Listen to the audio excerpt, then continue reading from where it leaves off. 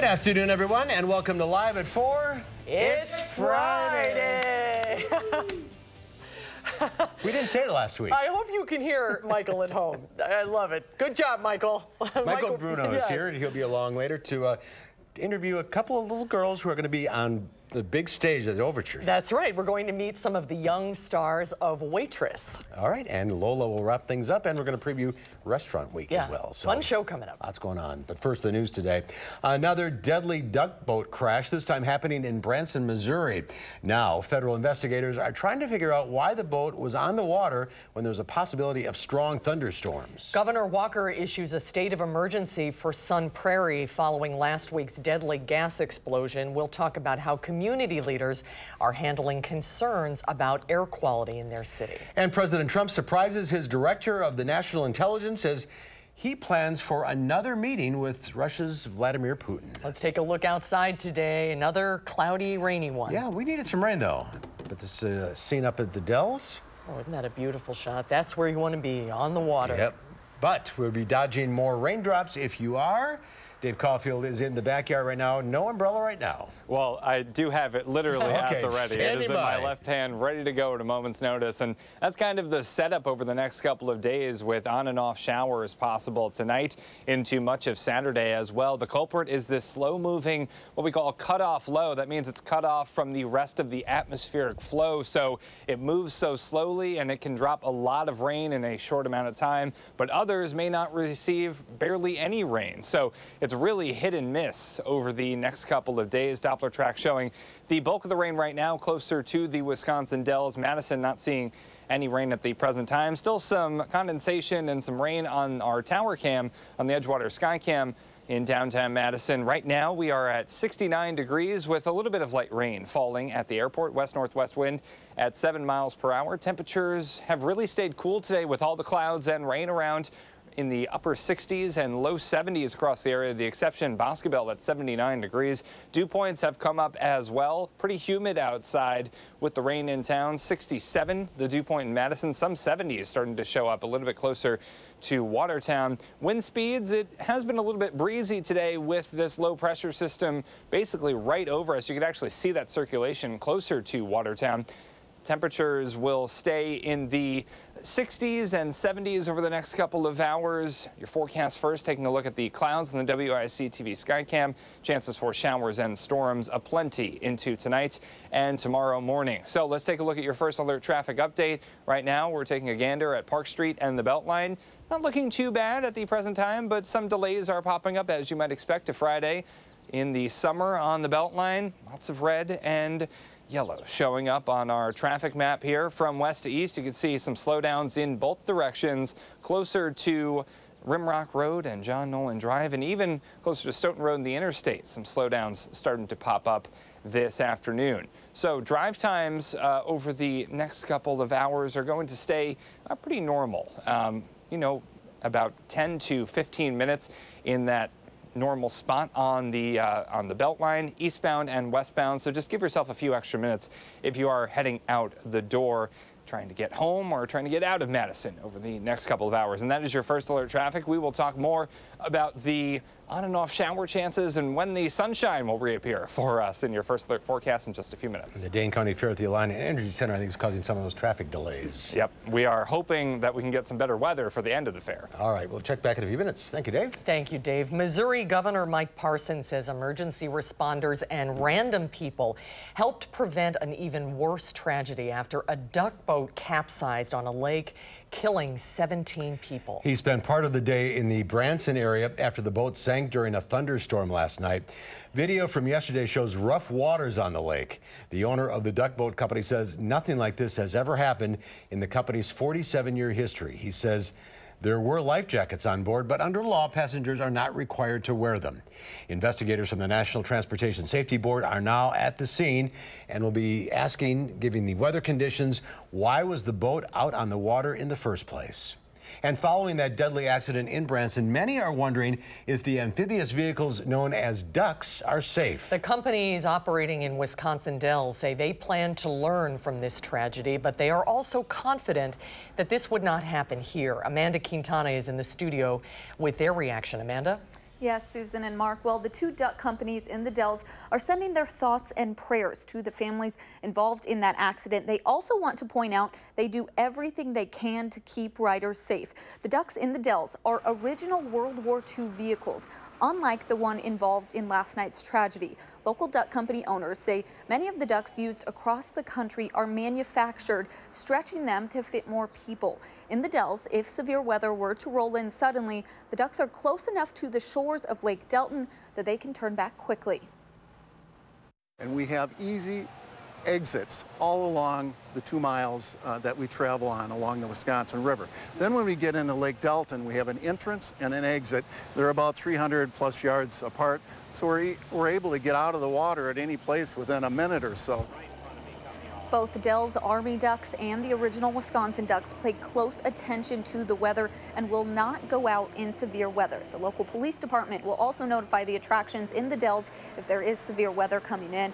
There are life jackets on board in case of an emergency, but like you guys mentioned earlier, they were not, they don't have to wear those life jackets until there is an emergency. When I asked both companies if they thought the original World War II vehicles were safer than those manufactured, they said they are confident in their training and decades worth of experience. That's reassuring to hear. Mm -hmm. I mm-hmm. think when this story first broke, everyone immediately sure. thought of the Ducks in Wisconsin Dells. Amanda Quintana here in the studio. Amanda, thanks. Governor Walker has declared a state of emergency for Sun Prairie and Dane County. Following last week's explosion, the executive order directs state agencies to continue to provide aid to the community and its citizens as they recover. The governor writes, My thoughts and prayers continue with the people of Sun Prairie. This declaration will ensure state agencies provide whatever assistance is needed to help the community rebuild and to help families impacted recover. Following the explosion, the city of Sun Prairie is hearing concerns about debris affecting the quality of air. Some buildings near the explosion site will eventually be demolished and, uh, demolished, and the city is getting a plan in place when that does happen to keep people safe. Rose Schmidt is in the news center to tell us what's causing some of the air quality concerns. Rose?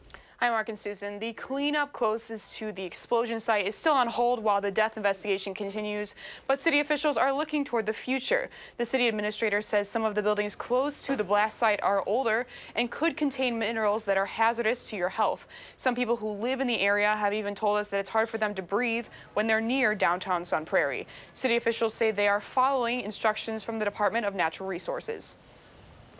So we're doing the best we can as far as handling that debris safely, trying to mitigate any dust, anything going into the air, whether it be asbestos, whether it be lead, lead paint or anything of that nature. DNR has instructed the city to water down debris as it's removed from the area. When the buildings get torn down, they will water debris down in that area as well. The city administrator says if you do have trouble breathing or even feel stress in the aftermath of that explosion, please seek medical attention. A spokesperson for the Public Health Madison and Dane County says the department will also look into air quality issues in the future. Rose Schmidt in the newsroom. Rose, thank you. Former Republican State Senator, State Senate President Mike Ellis has died. Ellis's brother says he died in his sleep. He was 77 years old. Ellis spent decades working in the State House. He made headlines in 2013 when he angrily shouted down Democrats and banged his gavel so hard he broke the base during an abortion debate. President Trump says he wants to have a second summit with Vladimir Putin in Washington, D.C. Today, the White House confirmed it is working to set up a second summit this fall with President Trump and President Putin in Washington. President Trump set off a firestorm after Monday's meeting with the Russian leader. The president later said he misspoke by appearing to side with Putin over U.S. intelligence agencies about Russia's alleged meddling in the presidential election. I'm happy that the two leaders of two very important countries are continuing to meet. Uh, and if that meeting takes place in Washington, I think it's all, all, all to the good. I think it's outrageous that the president is rewarding Putin with another meeting before the election. Russia's ambassador to the U.S. says the Kremlin is considering the offer. President Trump's former lawyer and self-described fixer Michael Cohen allegedly taped a conversation before the presidential election discussing paying off a former Playboy model with Mr. Trump. Angelica Alvarez has more details from the White House. The New York Times reports Michael Cohen, President Trump's longtime personal lawyer, secretly recorded a conversation with Mr. Trump about paying off a former Playboy model just two months before the election. According to the Times, the two men talked about paying Karen McDougal in order to keep her from telling her story. She alleges she had a year long affair with Mr. Trump in 2006. So far, no evidence exists to show Cohen or Mr. Trump paid McDougal, but the National Enquirer paid her $150,000 for the exclusive rights to her story and then never published it, a practice called catch and kill. Mr. Trump is longtime friends with David Pecker, CEO of American Media, the National Enquirer's parent company. The timing of any payments made by President Trump's former lawyer are being examined to see if they violated any federal campaign finance laws. Rudy Giuliani, the president's current lawyer, told The Times the recordings are actually proof the president did nothing wrong. He says the president himself never paid McDougal, and the recordings show he had no knowledge that the National Enquirer was going to pay her either. The Times reported the recordings were seized during an FBI raid of Cohen's home, office, and hotel room earlier this year. Investigators seized more than 3 million items in the raid. And sources tell CBS News Cohen frequently recorded phone conversations, meaning more tapes with President Trump could exist. Angelica Alvarez for WISC News 3. Cohen has indicated that he might be willing to cooperate with federal prosecutors should he face any charges. He told ABC News earlier this month that his family and his country come first. Several Iowa cities are assessing damage today after several tornadoes moved through the state. At least 17 people were injured. The governor of Iowa spent today touring the damage. Hospitals, a machinery factory, and a country court, courthouse are among the damaged buildings in the central part of the state. Governor Scott Walker is asking the Trump administration to issue a federal disaster declaration for six counties in northwestern Wisconsin. The region saw flooding last month, which washed away many roads. The governor's office says federal assessment shows the flooding caused more than $13 million in damage to public infrastructure. The Federal Emergency Management Agency's Public Assistance Program covers 75% of eligible costs. The state and local communities share the remaining 25 percent. Well, planning your next trip, maybe Instagram could help. The social media site is having a major influence on travel. How to plan an Instacation coming up next on what? Uh, next at 4. There's a new word for you.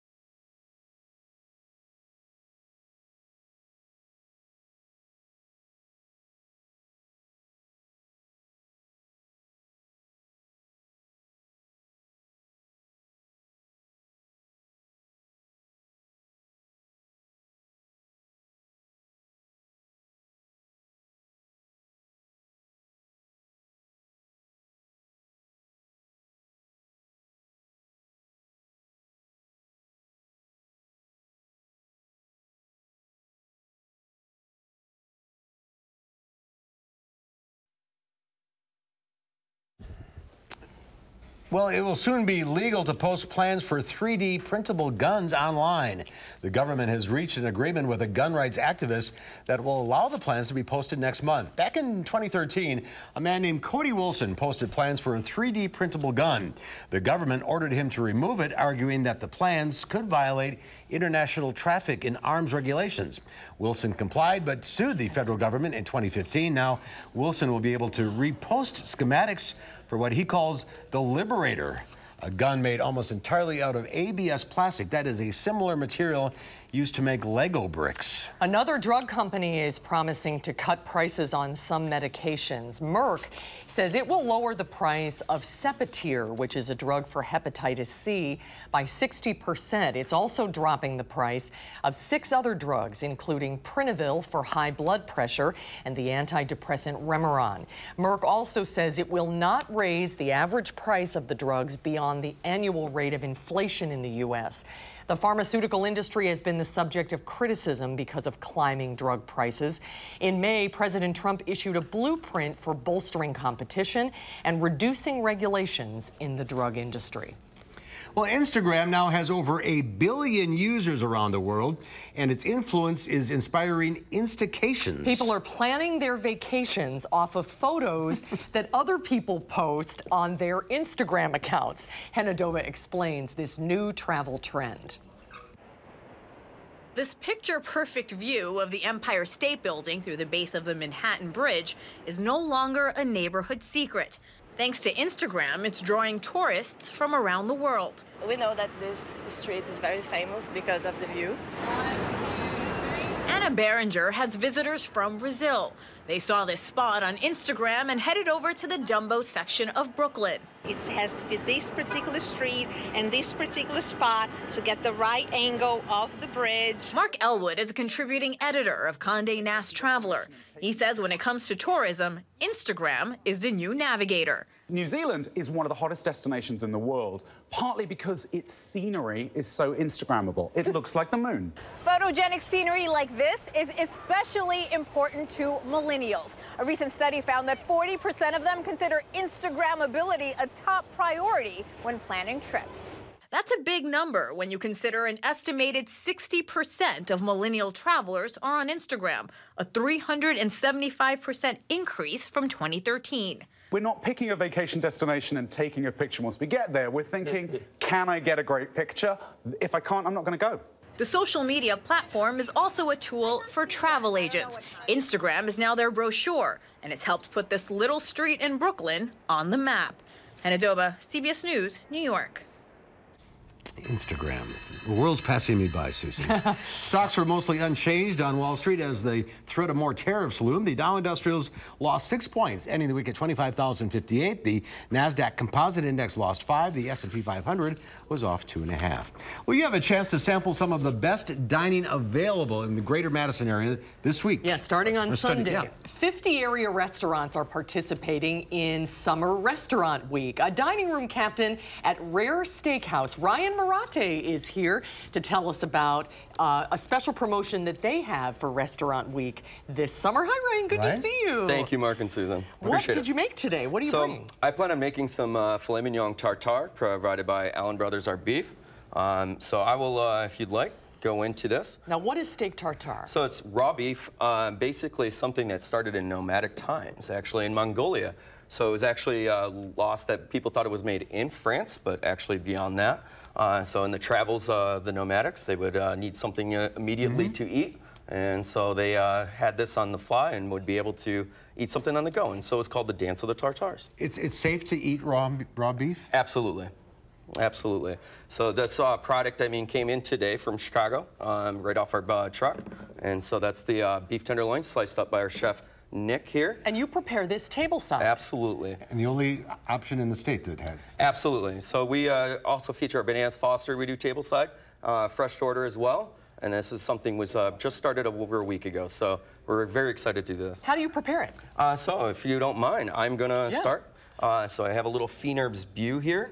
So, I don't even know what that is. so the Fienerb's Bew is a mix of chervil, chives, parsley, and tarragon. Oh, uh, then wonderful. Then I have some wonderful pickled mustard. We pickle that in house. Oh, the smells are spectacular. So Uh, then I also have some fresh chopped capers. Okay. And tomato tapenade. And the whole idea on, about Restaurant Week is to go to restaurants you wouldn't necessarily go to. Absolutely. Because it's affordable. Yeah, absolutely. And you can try different things. Indeed. It's three dishes. It's an appetizer, an entree, and a des dessert for a set price. So it's really a great opportunity. So you do some salt and pepper. Oh, I love that salt Sea mill. salt, fresh black pepper.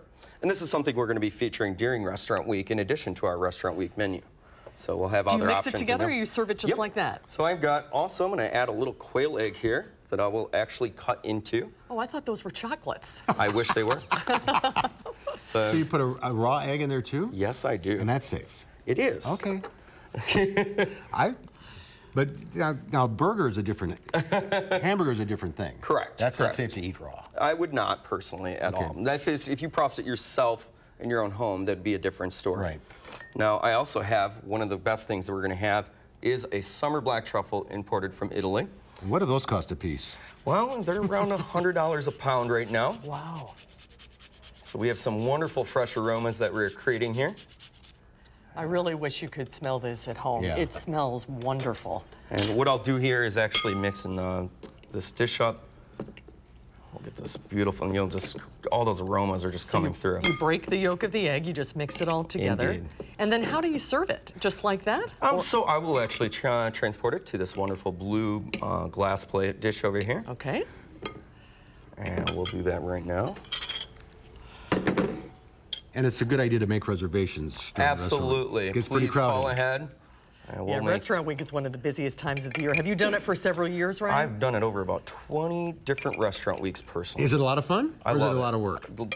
Yes. A lot of fun and work. I, I, have myself uh, every day, mostly. You know, and, and Rare is a, a high-end restaurant, and this gives uh, people an opportunity to, to check it out. Indeed. And please come in and try it because we're going to make sure that you love black truffles, and I'm going to put some more on this because All right. Well, there's not enough you on want there. to try this, Susan? Do you serve it on uh, on bread, or you just right on this baguette that I got some fresh uh, country baguette, and voila, we have voila. Ryan, that's beautiful. Thank beautiful. you. Absolutely. Would you like to try some, Susan? Uh, sure. Yeah, you bet. So Restaurant Week starts Sunday. It goes through Thursday or Friday, depending on the restaurant.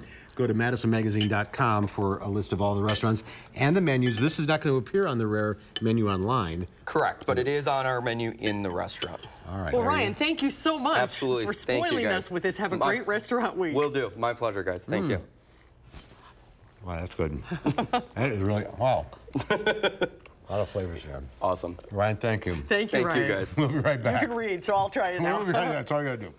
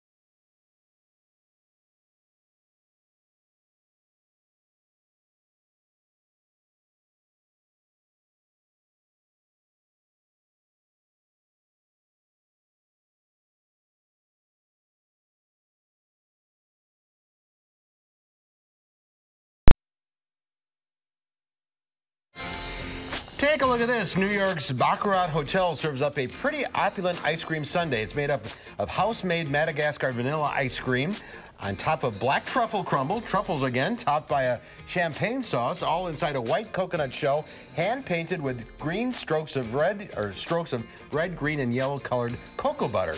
And that's all covered with gold leaf and silver flakes, spun, uh, spun sugar in the shape of a nest, Rest on top with edible flowers, all served in a Baccarat crystal and porcelain bowl. How much do you ask? $1,500. And you can take the bowl home with you. Oh, otherwise, there you go. Otherwise, it's $300 without the bowl. What a savings. yeah. I mean, why would you get the bowl? Because I... it's Baccarat crystal. Oh, please. Can you eat the bowl? No, it's Well, crystal. then I, then I don't know why you get it. That's almost too pretty to eat. Yeah, exactly. It is Friday, July 20th. It is nap day. Naps that are between 10 and 30 minutes improve mood, alertness, and performance mentally and physically.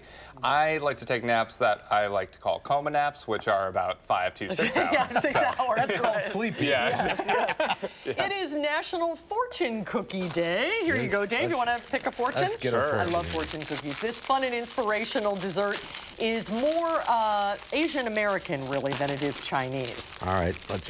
What does my fortune say? What does it say? It says your present plans are going to succeed. Oh, that's a good one. How about you, Dave? Uh, you are a practical person with your feet on the ground. Literally, my feet are on the ground right now. Amazing. Practical. Amazing. Practically amazing. Yeah, exactly. Uh, mine's kind of lame. Sell your ideas. They are usually acceptable. Not always. Not always. It, you That's all right. You can't win them all. You want a second? No, you yeah. can't do a do-over. We'll just go through All right. And it's Moon Day. On this date in 1969, astronaut Neil Armstrong climbed down the lunar module to become the first man ever to walk on the moon. Remember, that's one small step for man, one giant leap for mankind. His feet were on the ground of That's the moon. Right. That's right. Oh my gosh, everything comes full circle. You told These... me a cute story when you were in eighth grade. You looked up at the moon and you well, when it was happening. It was a Sunday night, and I remember we were golfing, and my dad and my sister and I were driving home, and I look up at the moon and said, there's a, a guy's going to walk on that in a few minutes. And wow. I'm going to watch the moon walk. Oh, that's wow. pretty Did cool. you know before that? Yeah. Oh, okay. It was, all, the papers. I thought you were just like, you sensed it. no, I did. Yeah. Like they, it was in your fortune. they make it. like they that. made a big announcement. Uh, oh, okay. Gotcha. it was not a big deal or anything like that. But um, we're looking to see if rain will be on the ground along with my feet in this fortune. so we will go over the possibility of some more scattered showers and thunderstorms in your first alert forecast in just a few minutes.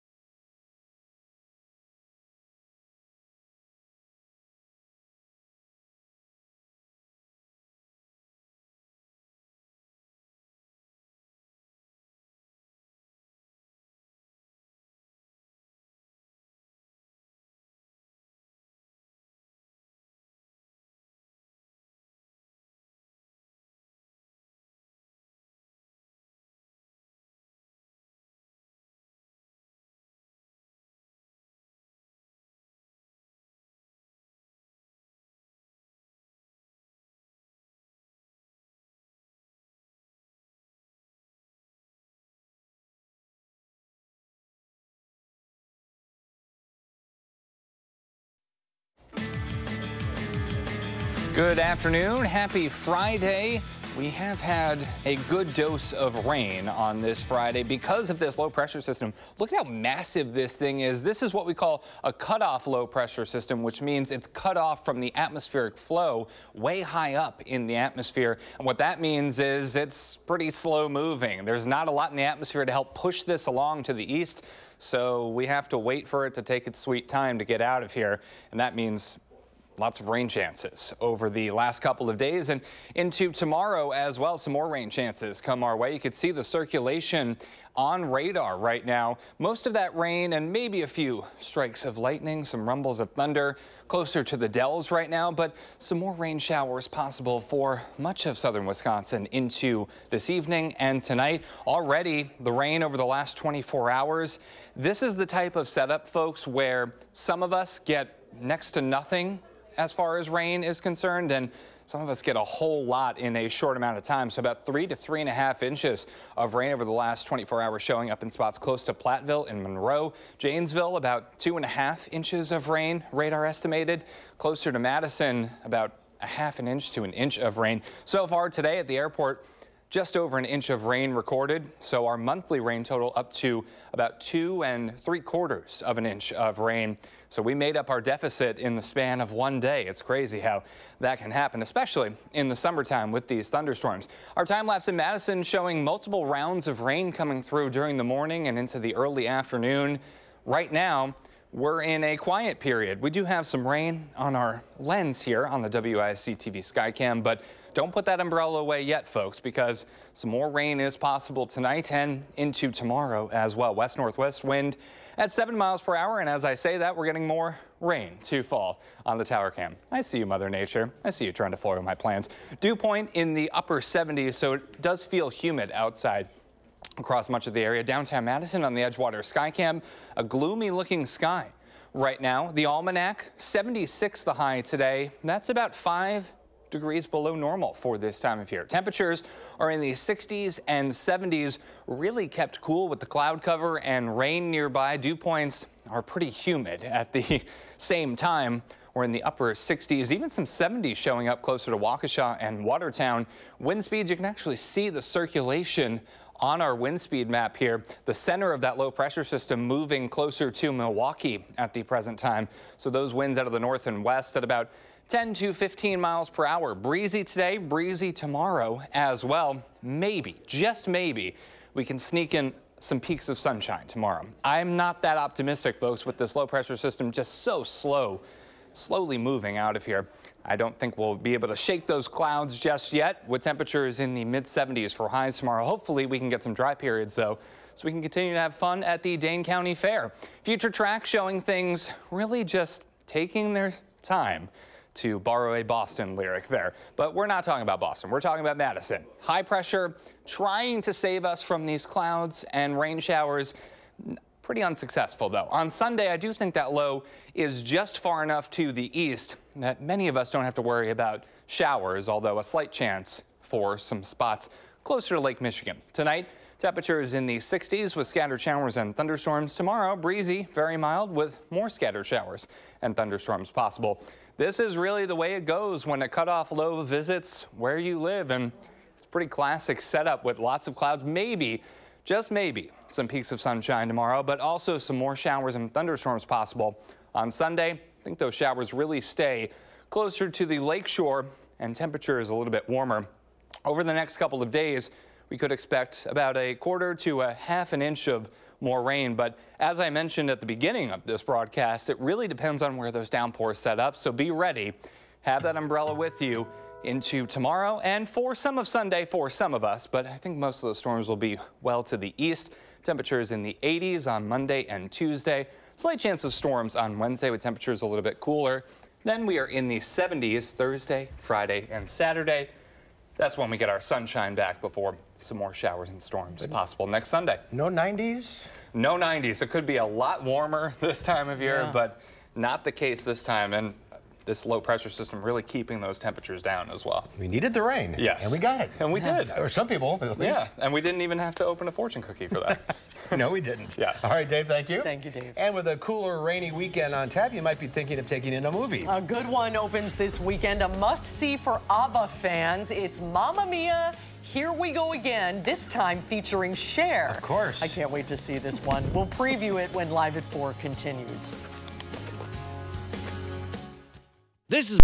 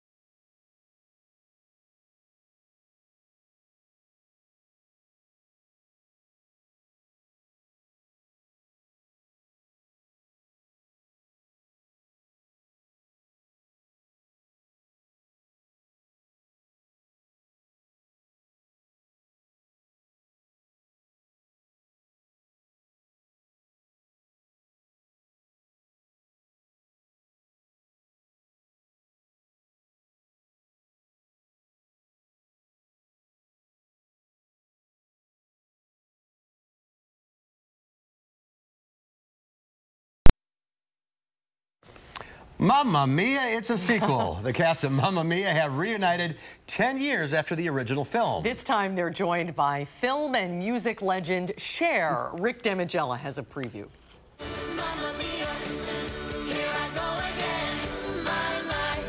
How could they resist? The cast of 2008's box office smash reunite for Mamma Mia, Here We Go Again. It was just we picked up where we left off 10 years ago in mm. friendship and in, in, in, a community of actors. And to be part of a company like this is, is so magnificent. The movie is a prequel sequel with events taking place before and after the original's plot. Lily James plays the young version of Meryl Streep's character, Donna. I'm in the exact same place that she was all those years ago. Actually, watching this film, I felt such love because I had the time of my life making it. So watching it, I just remembered like, oh my God, that's where I was, that I lived that. And it's kind of like, you know. And it's kind of nice that none of it, it wasn't like centered on any one of mm. us. It's like, wasn't all my face up there. And it wasn't, you, you know what I mean? Like I got to get lost in your story. Let's get the party started. Grandma, you weren't invited. That's the best kind of party, little girl. Cher is among the newcomers to the cast. Her co-stars say her scene performing ABBA's Fernando was quite memorable. They were close enough, Fernando.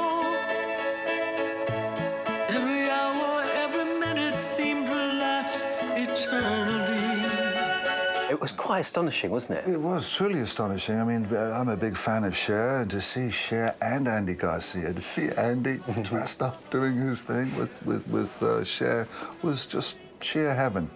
And everyone who came out, everyone brought their girlfriends, their mothers, their fathers, their boyfriends. We're all there on set watching her do her thing.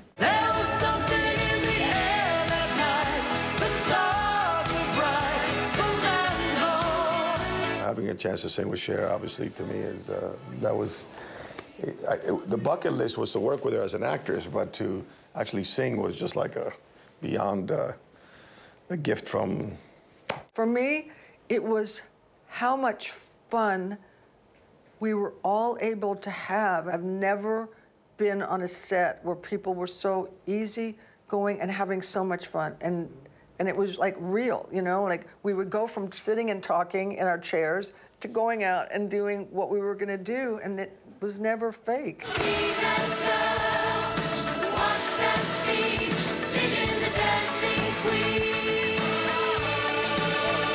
Dancing along in Hollywood, I'm Rick Damigella. Mamma Mia, here we go again. The prequel sequel opens today. We'll find out what our movie critic Will Loper thinks about it Monday here on Live at 4. Cher is 72. She looks great. what a great addition to yeah. the cast. All right, we'll be right back.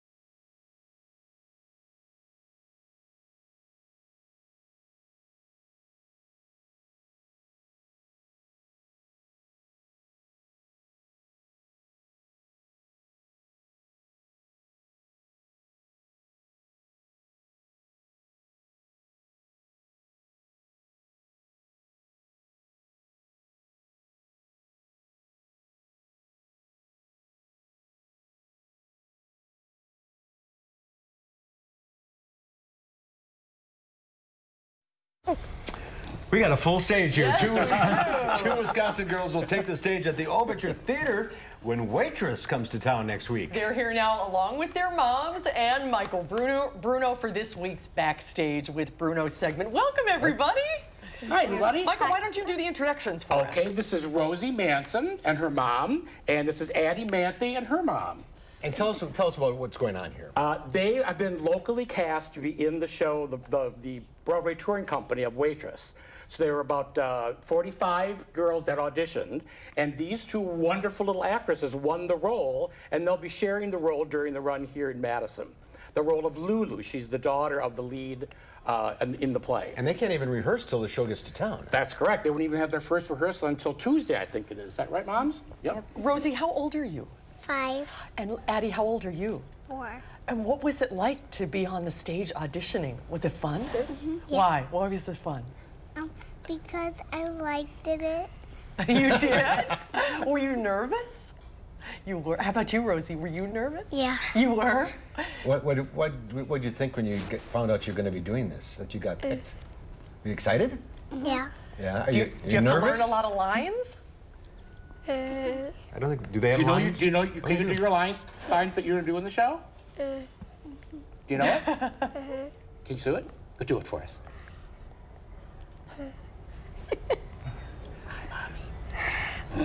Well, she thinks of it. it's a silent show. so, so why do you why do you want to get your, your daughters involved in this? Um, Rosie comes from a theater family. Um, we all are active in our community theater, and um, her older sister, we put her into some acting classes, and Rosie was just barely old enough to do it, and we thought it would be fun.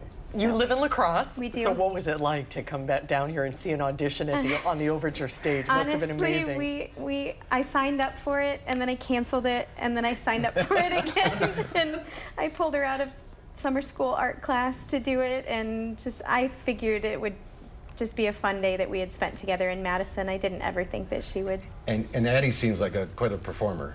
Yeah, she's uh, she's had some experience modeling, but never acting. So this will be something new for her. But she's definitely an entertainer at heart. I think she just loves to make people smile and. Aww. And you live in Sun Prairie. Yes. What kind of a commitment is this going to be for the girls? Like, will you have to? Uh, a, decent one. I mean, we're not driving from La Crosse, so uh, we're not too far, but um, we'll be um, weeknights. It'll be kind of rough, maybe the next morning, and then a full day on uh, full weekend day. So that's going to be. It's going to be exciting. What an experience! What an experience! Wait, waitress opens Tuesday. It opens Tuesday and runs through Sunday. Can't wait to see you guys on stage. Good luck, you guys. Break a leg. That's what they say, right? You'll be signing autographs at the door afterwards, right? Thank you, Michael. You bet. Thanks, Remember, everyone. you met him here first. Remember these names. We'll be right back with a final check of your forecast. Thank you so much, guys. Good to see you.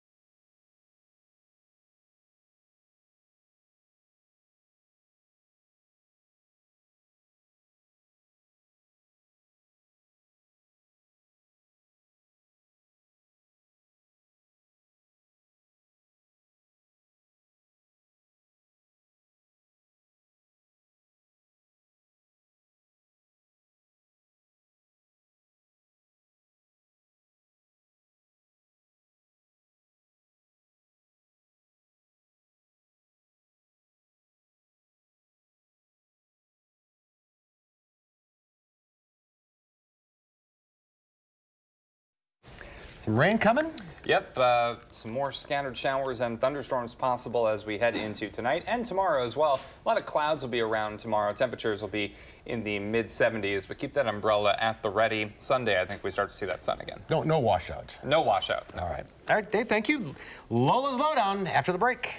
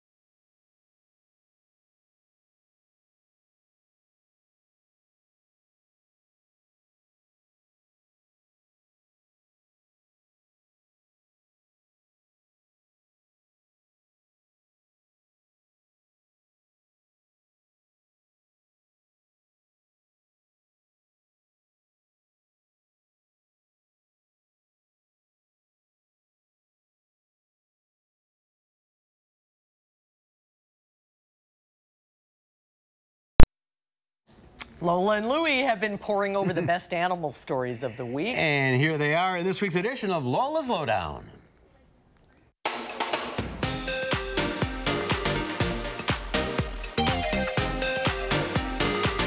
This week on the Lowdown, it's a love triangle. It's mom versus bear. And walk this way. But first, Six Flags Great Adventure in New Jersey is welcoming three new Eurasian lynx cubs into the world. The two females and one male bouncy cubs weigh just two pounds each at birth, but will grow to about 50 pounds. The cubs are born with dark ear tufts, signature to their species. The fuzzy felines are native to cold climates and have webbed feet to help them walk in snow pretty amazing creatures. This bear picked the wrong porch to try and poach from. A Lake Tahoe woman uses her best mom voice to let a bear know who's boss. Oh, no, no, no, no, no, no. No, no, no, no, no, no, no, no. No, go! Go away! And go away it did. Don't mess with mom. You have to